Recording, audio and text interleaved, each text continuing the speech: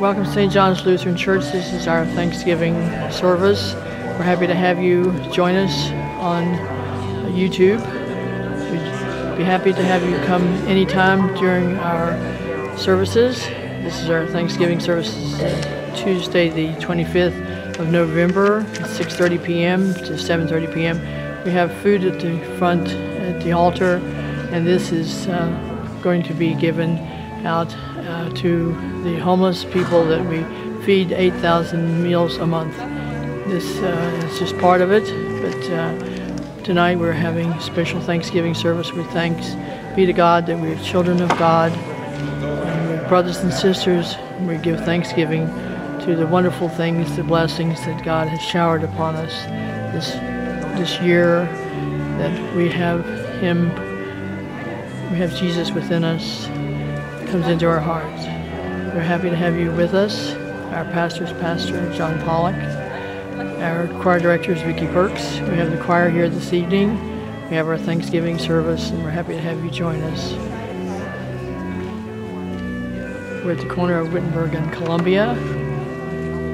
We have services at 8 o'clock on Sunday morning and at 10.30 on Sunday morning. And this is our special Thanksgiving service.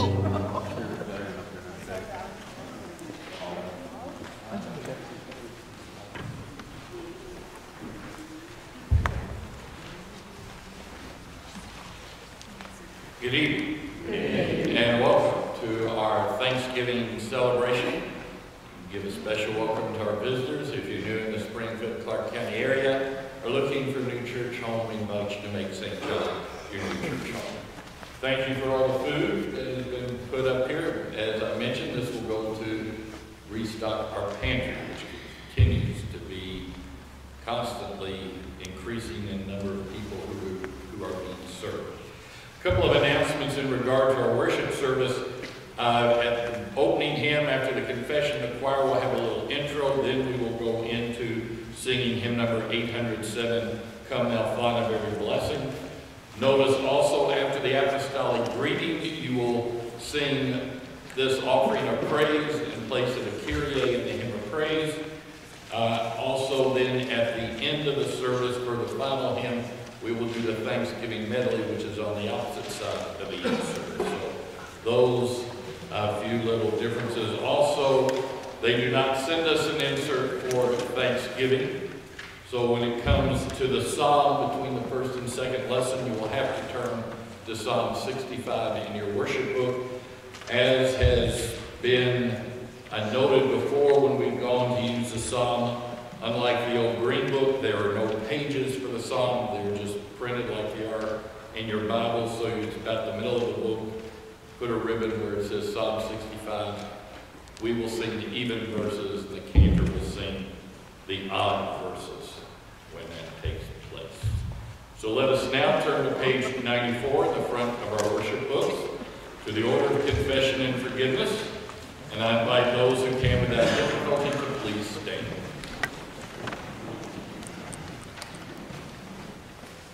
stand.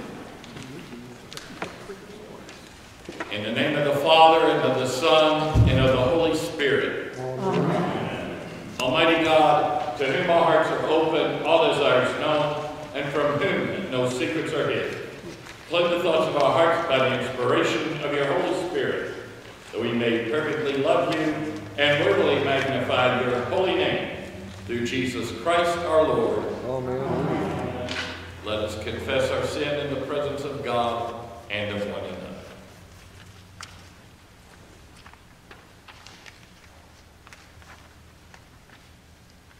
Most merciful God, we confess that we are captive to sin and cannot free ourselves. We have sinned against you in thought, word, and deed, by what we have done and by what we have undone. We have not loved you with our whole heart. We have not loved our neighbors as ourselves. For the sake of your Son, Jesus Christ, have mercy on us. Forgive us, renew us, and release us, so that we may love in your will and walk in your ways, to the glory of your holy name. Amen. In the mercy of Almighty God, Jesus Christ was given to die for us, and for his sake, God forgives us all our sins. As a called ordained minister of the Church of Christ, and by his authority, I therefore declare you the entire forgiveness of all your sins, in the name of the Father, and of the Son, and of the Holy Spirit. Amen. Let us now turn to hymn number 807 in the back of our worship books. And after a brief intro by the choir, we will then be instructed to join in the singing of Come Thou Fount of Every Blessing. This is a hymn was written by uh, Robert Robinson, lived 1735 to 1790. Come thou fount of every blessing.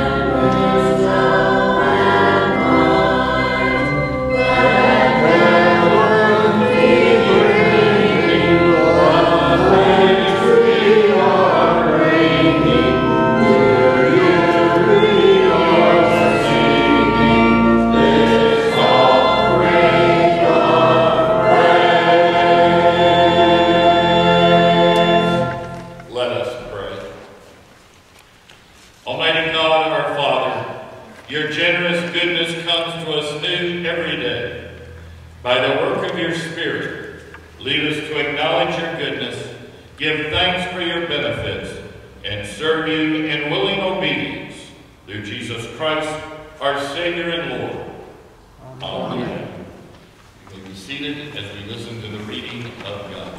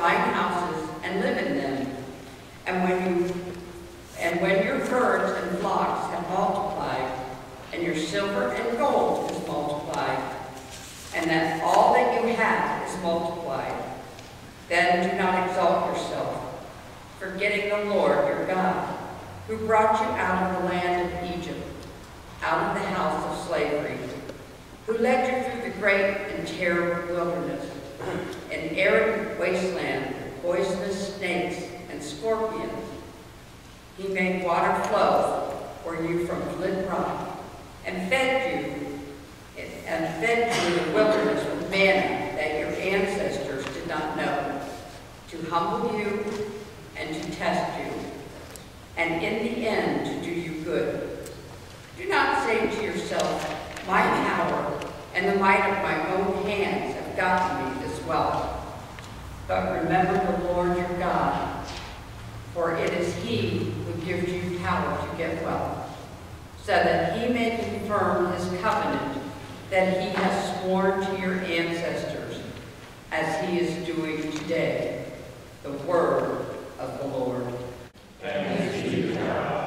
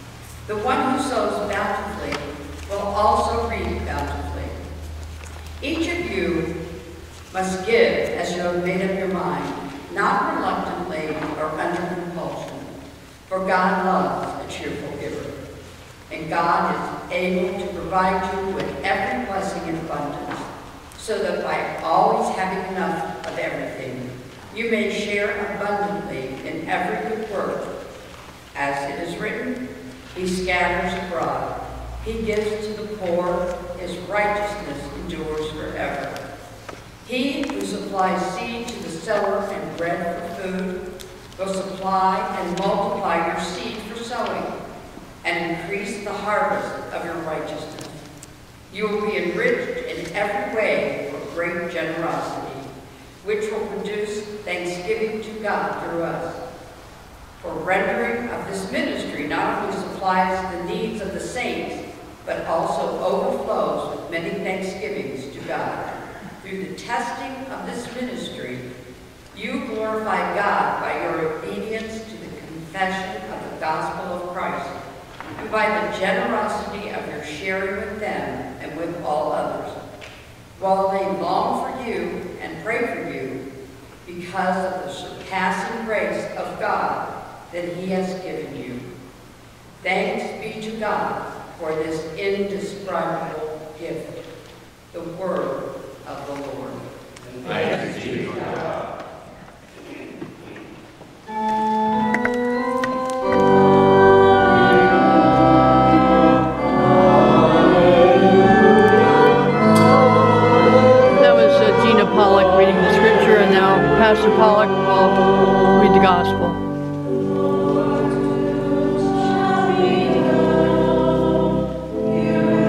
our Thanksgiving service, November 25th, 2014, St. John's Lutheran Church, Springfield, Ohio.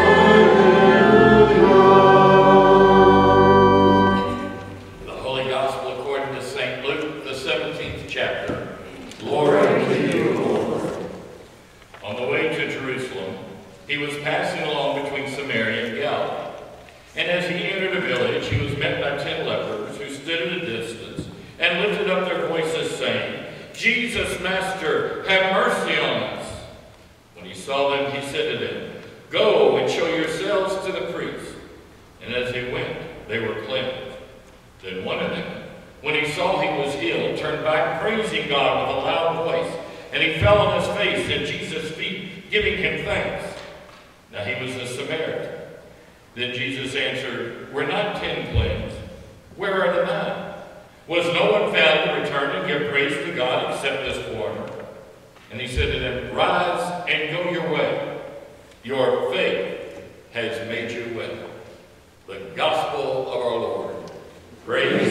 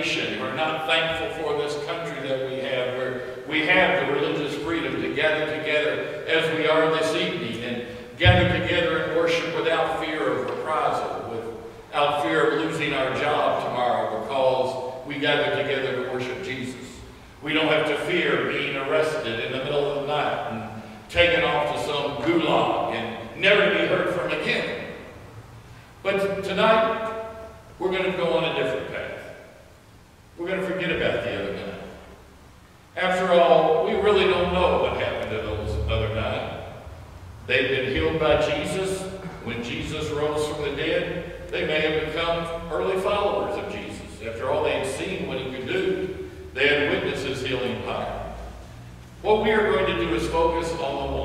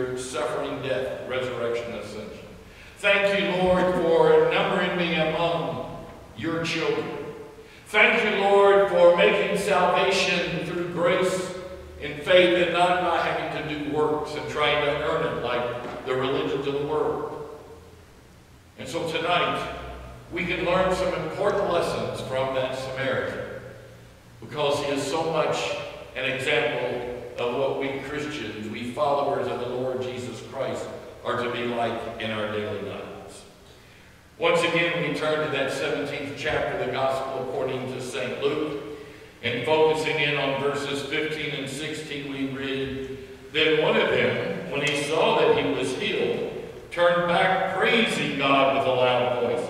And he fell on his face at Jesus' feet, giving him thanks. He turned back. The word, Greek word translated as turn back is a Greek word that more often than not literally means to return home. When we come to Jesus, we return home. When we take time to praise and give thanks to Jesus, we are returning home. When we in our daily lives take that time to say a little prayer to Jesus or recite the Lord's Prayer or pull out a pocket Bible or a New Testament and read a bit of God's Word, we are returning home. When we gather together Sunday mornings and Wednesdays during Lent or during the week or whenever there's a service at the church, when we gather around Word and Sacrament, we're returning home. The Samaritan was returning home to Jesus. Returning home to a right relationship with God through faith in Jesus Christ. Returning home to salvation. And he wanted everyone to know about it. For it says he came praising God. Now that word praising God means to magnify someone. It means to celebrate them. It means to hold them in great honor. It means to acknowledge their worth and dignity. The Samaritan was doing all this with Jesus, honoring him, celebrating him, magnifying him, acknowledging his worth and his dignity, and that is what we do as followers of Jesus Christ in our daily lives. We honor God and our Lord Jesus Christ. We celebrate them. We praise their dignity and the worthy of them. We do this whenever we acknowledge that Jesus is Lord. And it is our responsibility to constantly give praise and to not be intimidated by a society that would prefer we be quiet. But instead we praise God just as first two of the Ten Commandments tell us. That first commandment, I am the Lord your God, you shall have no other gods before What does this mean? We should fear, love, and trust God above all things. It says putting God as a priority. That's meaning God is the most important thing in your life. God is more important than popularity. God is more important than being elected to something. God is more important than power. God is more important than prestige. God is more important than 15 minutes of fame. God is the most important. When He's most important, you're magnifying Him. You're celebrating Him. You're honoring Him. You're holding Him in honor. You're showing that He is worthy and is worthy of dignity and praise. The second commandment says we shall not take the name of the Lord our God in vain, or in a more modern translation, the way they put it is you shall not misuse the name of the Lord your God. What does this mean? We should fear and love God so that we do not curse, swear, use satanic arts, lie, or deceive by his name, but call upon him in every trouble, pray, praise, and give thanks. That is how we are to use God's name. But unfortunately, sometimes we give into the pressure of those around us who are ridiculing God, are making fun of God's name, are not upholding it with the dignity and, and the worth it should be. I remember back in the late 70s, there was a joke that became popular. And this joke was a joke that, in its own way, was being disrespectful of our Lord Jesus Christ. It was desecrating his great sacrifice. I'm sure most of you, if you were around in the 70s, heard the joke. It was a joke taking place on that first Good Friday. When Jesus is on that cross dying for the sins of the world. And as the joke goes, Jesus is on the cross and suddenly he yells out, Peter, Peter. Of course, if you know anything about your Christian faith, you know Peter wasn't there at Calvary. Peter was all high. Big mouth Peter. Oh Lord, I'll stand by you no matter what. Everybody else can fall away, but I'll be by you. Well, he was high.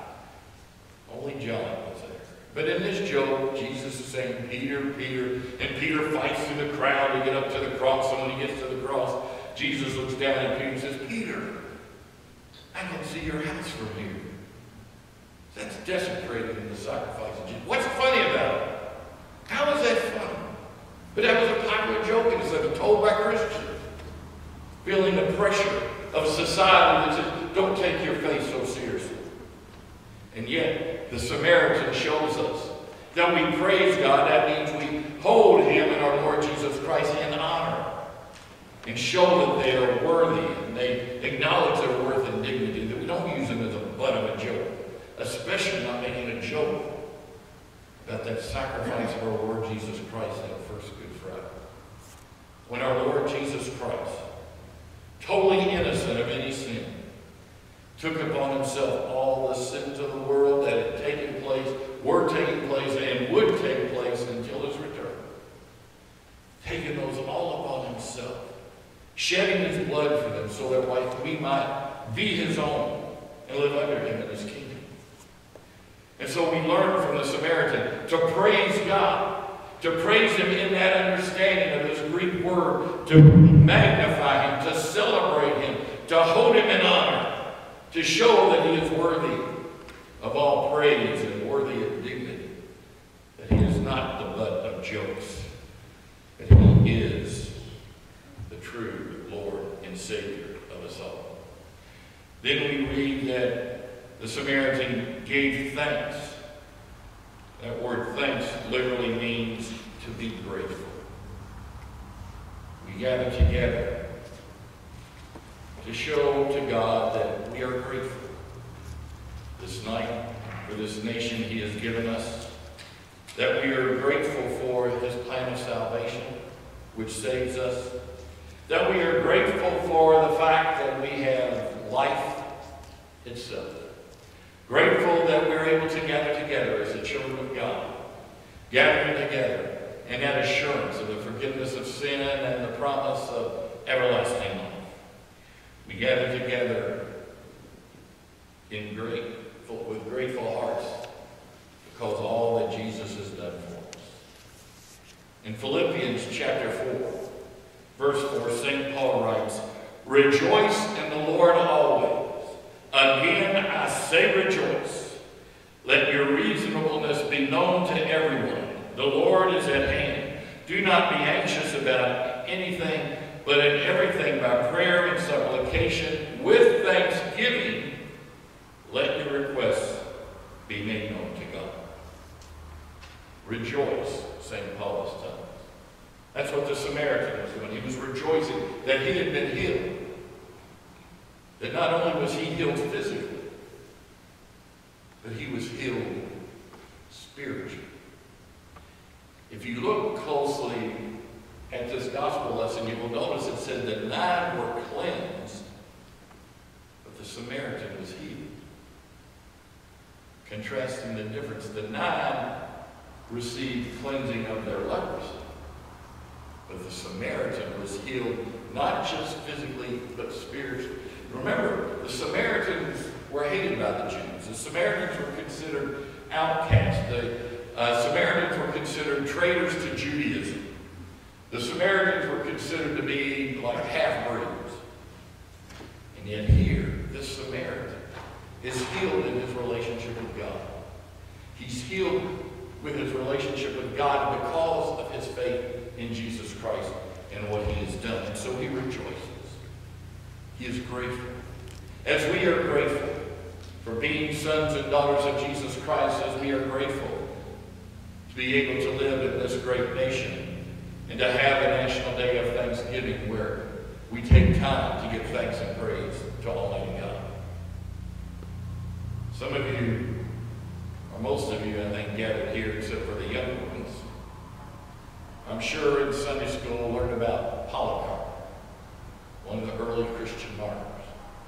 Polycarp learned at the knee of St. John. When St. John was an old man, Polycarp was a youngster. And it's said that when Polycarp became a man and began to have positions in the church, that he oftentimes talked about the, what he learned from St. John, the discussions with St. John. Polycarp was a bishop of Smyrna, and he was so loved by his people that as he became older, the congregation began to kind of have a rivalry as who could do the most for, for him, who could provide for him the most as he grew older. When he was 86, he was found and captured by the Romans as a traitor to the empire. He was brought into the arena to be burned at the stake. He was given one last chance to recant his faith in Jesus Christ. Polycarp said, For 86 years I have served him, and he has never done me any wrong. How could I now recant my Lord, my King, and my Savior?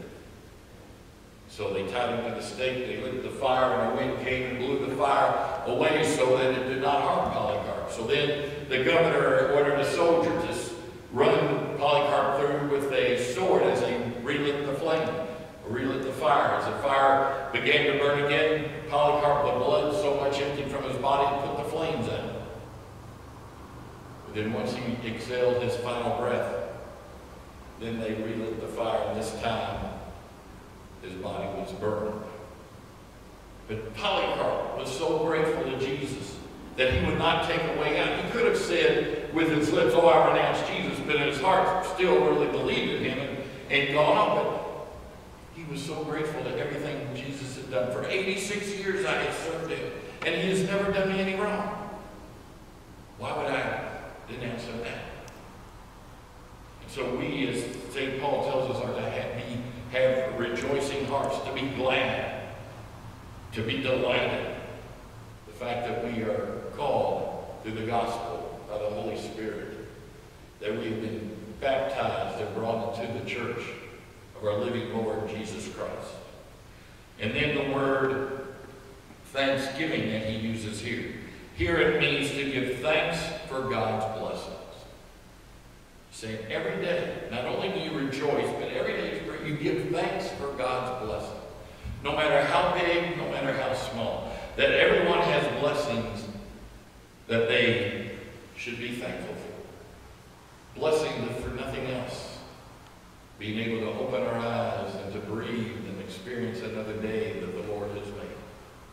Every day won't go perfect. Everything we do will not be a success.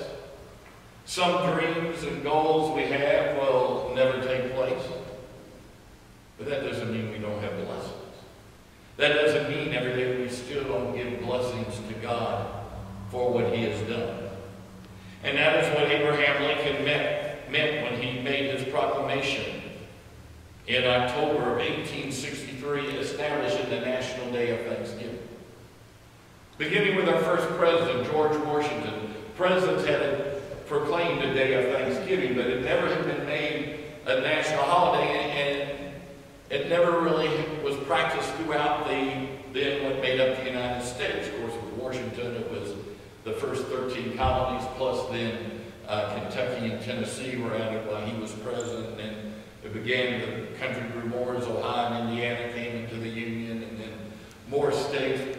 But it, until Lincoln's proclamation, Thanksgiving had never been a, a national holiday. But here Abraham Lincoln is in October of 1863. The horrible war between the states is raging. It'd go on for another year and a half. Up until the summer of 1863, in the East, the Union Army had suffered one defeat after another at the hands of General Lee and the Army of Northern Virginia. Now in the West, the Union had been quite successful under the leadership of General Grant and General Sherman. But then in the summer of 1863, two major events happened. Lee was turned back at Gettysburg, Grant, and Grant, the day later, Grant captures Vicksburg, cutting the Confederacy in half, getting control of the Ohio, Mississippi, and every other waterway to the Union, so that no longer did the South have any way to shuttle troops or supplies back and forth by waterway. And so in that October, Lincoln gives us this proclamation. He says, We have been recipients of the choicest bounties of heaven. We have been preserved, or preserved assessment used in peace and prosperity. We have grown in numbers, wealth, and power as no other nation has ever grown. And then he says these words that sound very apropos for today. But we have forgotten God. We have forgotten the gracious hand which preserved us in peace and multiplied and enriched and strengthened us. And we have vainly imagined in the deceitfulness of our hearts that all these blossoms were produced by some superior wisdom and virtue of our own. Intoxicated with unbroken success, we have become too self-sufficient to feel the necessity of redeeming and preserving grace, too proud to pray to the God that made us. It has seemed to me fit and proper that God should be solemnly, reverently, and gratefully acknowledged as with one heart and one voice by the whole American people. I do therefore invite my fellow citizens in every part of the United States and those who are at sea and those who are sojourning in foreign lands to set apart and observe the last Thursday of November as a day of thanksgiving and praise to our beneficent Father who dwelleth in the heavens. Thanksgiving Day. Not a word about pilgrims and Native Americans. Not a word about turkeys and pumpkin pie. The whole emphasis is on being like that Samaritan who came back to give thanks and praise to Jesus. The whole proclamation is about taking a day as a nation, as a whole, whether Protestant or Catholic, Christian or Jew, at the time in 1863, would all stop and fill their houses of worship to give thanks to God for the many blessings. Even though the war was still raging, there were reasons to give thanks to God for the blessing that America had. And so we follow the example of the Samaritan. And we give thanks and praise to God. We are grateful. We give God blessings.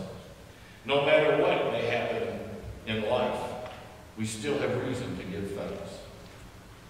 There's a story told, I don't know if it ever was actually a cartoon or, or just in a book about peanuts, but the story about Snoopy, Thanksgiving Day. Snoopy's getting dog food for his Thanksgiving dinner, just as he always does. And Snoopy knows that Charlie Brown and all his family are inside having turkey and all the trimmings. And he's like, you know, it's Thanksgiving, why am I getting just dog food? So he thinks about that and he says, how about that? Everyone is eating turkey today, but just because I'm a dog, I get dog food. So then, after meditating about it for a few more minutes, he trots over to his position that we know of Snoopy, and that's sitting on top of his doghouse. And as he sits on his doghouse, he concludes, of course, it could have been worse. I could have been born a turkey. that is the way we are to look at every day as followers of Jesus Christ. No matter how bleak the day may be, no matter how dreary the weather, no matter how out of sorts the weather may be, January weather in November, no matter what didn't go right for that day, no matter how bad you burned the crust of the pie or overcooked the turkey, whatever, there's always reasons to give blessings to God. No matter what the situation. Because as old Snoopy said, it could be worse. You could have been born a turkey. Amen. Peace of God which passes all understanding. Keep your hearts and minds in Christ Jesus. Amen. Would you please turn to page 104 in the front of your worship book to the words of the Nicene Creed. As with the whole church, we profess.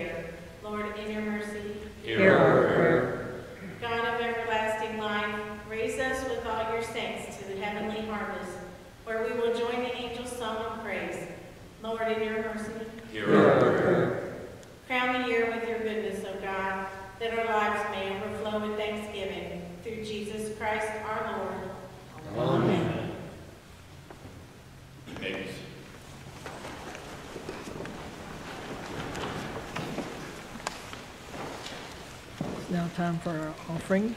This is the 25th of November. St. John's Lutheran Church this is their Thanksgiving service. Following the offering, we'll have Holy Communion, Great Thanksgiving, Sanctus, which is the Holy, Holy, Holy, Eucharistic Prayer, Lord's Prayer, Agnus Dei, which is the Lamb of God, the distribution and blessing, the post-communion canticle, post-communion prayer, the benediction, and the recessional hymn will be the Thanksgiving medley and we'll be dismissed. This is our Thanksgiving service. We're praising God, our Father. We're thanking Him for His blessings, for His favor that He's shown to us, and all the wonderful things that have happened to us. We've recounted them, the choir sang about them, and we're spending this hour thanking God for our country, for our Savior, for our salvation, for Jesus Christ our Lord.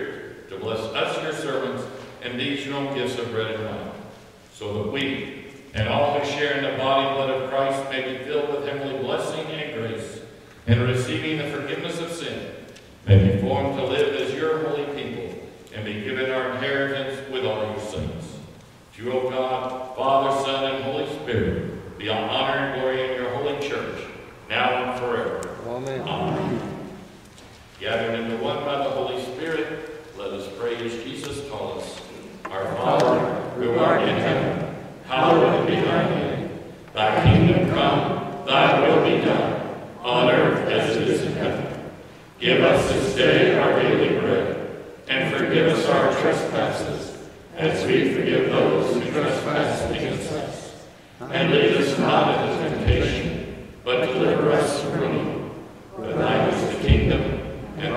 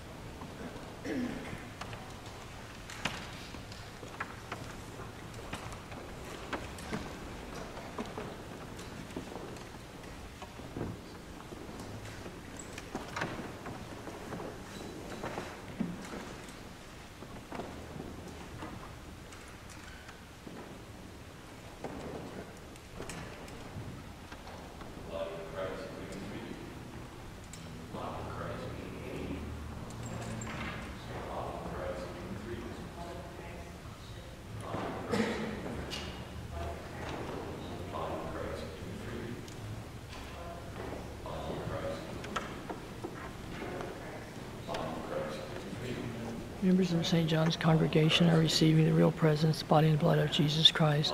Our pastor is Pastor Pollock, and we're giving thanks to God, Thanksgiving service. This is the 25th of November, 2014.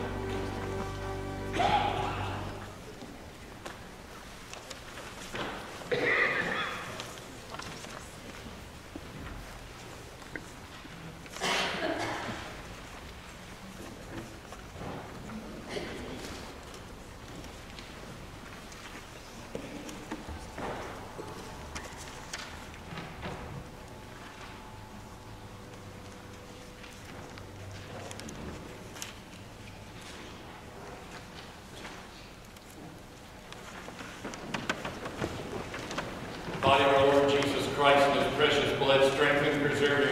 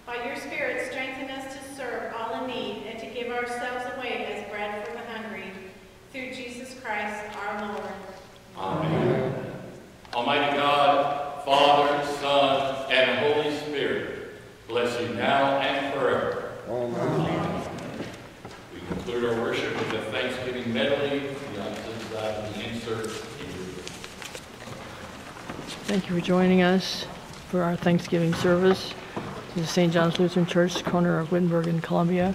Where we'll pray for you and we ask you to pray for us and watch us on YouTube.